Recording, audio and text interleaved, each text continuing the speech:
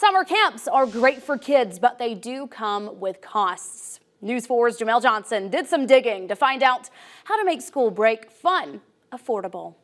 Dothan Leisure Services aims to provide children with a memorable summer. It's really important for us to offer a well-rounded experience for all of our campers. The Rec Center is expanding its services through their partnership with Dothan City Schools. Lining up some great field trips for campers who might not ever get to go to, say, the Montgomery Zoo or to Fort Novosel. Summer camp offers unique and fun experiences for kids.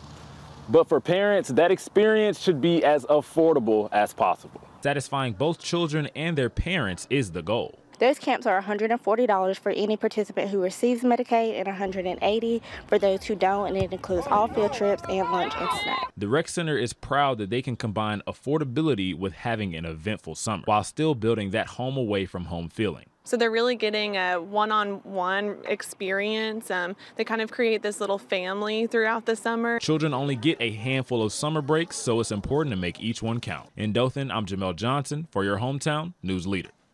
The summer camps continue to fill up quick as the school year nears its end.